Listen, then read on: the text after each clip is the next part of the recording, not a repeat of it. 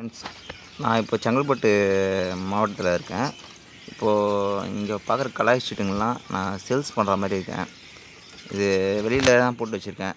மண்ணில் இருக்கும். நல்லா வெளில பாட்டம் இது தெரியும். ஒரு இதுவாக இருக்கும். நல்லா இருக்கு. நான் ஷீட்டு உள்ளே. இது தேவைப்படுறவங்க எனக்கு கான்டாக்ட் பண்ணுங்கள் செங்கல்பட்டில் இருக்கேன்.